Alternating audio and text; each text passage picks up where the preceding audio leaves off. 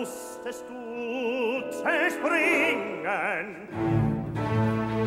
Zu Spreun und Jupiter vertragt, im Tiegel Tigelbrat die Schmerz.